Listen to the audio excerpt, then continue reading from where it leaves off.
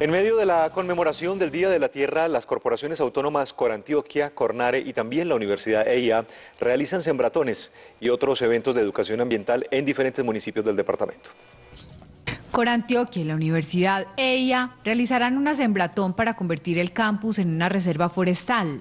Queremos eh, fomentar la Sembratón Nacional, esa gran convocatoria que nos hace el gobierno nacional para alcanzar la meta de 180 millones de árboles, Hoy en el campus de la Universidad de IA pretendemos hacer una jornada donde alcanzaremos a sembrar un poco más de 400 eh, individuos forestales.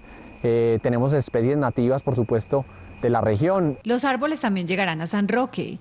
En San Roque estamos trabajando con Gramalote y con Agrosavia en una gran sembratón para restaurar unas hectáreas importantes. Y en Marinilla, Cornare le enseñará a las personas cuál es su impacto ambiental. Vamos a contabilizar la huella de carbono como un acto simbólico para medir cuánto es eh, esa huella de carbono de todos los que estamos presentes en el Parque de Marinilla. El próximo martes se realizará una gran siembra de árboles en el Parque Ambiental Los Tambos de La Ceja.